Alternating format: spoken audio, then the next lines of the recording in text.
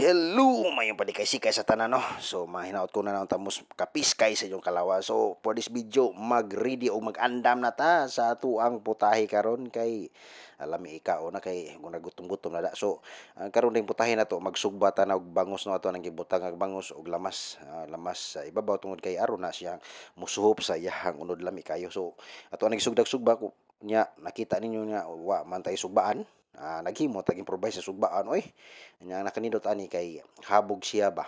Taas-taas ang iyang gintang gikan sa kainit og sa iyang sugbaan ah, ano taas kayo ba? Sama gud sa kataas sa atong pasensya no? Kay ug magtaas ang atong pasensya aduna gud tay mapupo na maayo basta naatay pasensya di ba? Nya kini ah, na gibali-bali nato ah, okay naman so ato naghihaon man ni resulta o lami kayo gwapa kayo samas ka gwapa sa ako ang uyab ako sa di ba? Unya mao ni siya oh ang ato ang sawsawan kalami. Oy napay talaba pakapin. Ay Ginoo ko ciao na ali na mo